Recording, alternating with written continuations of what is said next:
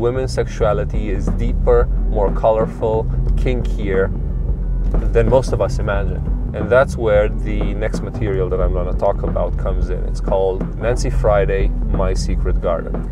There are many unspoken truths in this world, and one of them is the truth about our sexuality, especially women's sexuality, but men's as well. We find that women's sexuality, sexuality has not been allowed to express itself for generations not as much as it is, not as much as possibly people would have liked, or maybe it's already too much for the taste of some people. And it proved to be an eye opener for me.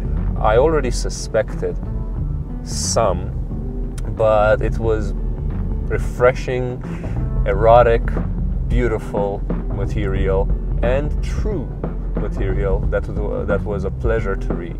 It is a collection of women's sexual fantasies, spoken in complete anonymity and in full colorful detail.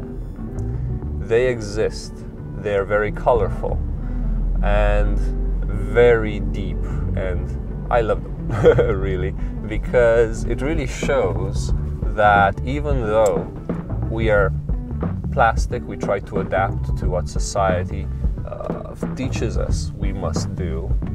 And for women, at least in most cultures, they try to suppress their sexuality for no reason other than transfer the transfer of property.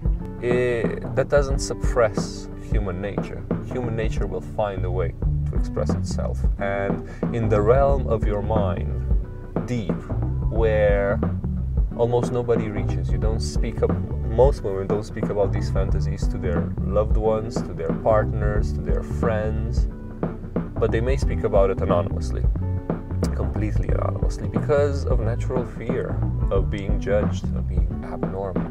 It is normal to have sexual fantasies, and it is normal for, for them to be kinky and uh, highly erotic from rape to multiple partners to anything you can imagine. It's there, it exists. Which is not to say women desire to be raped, not at all.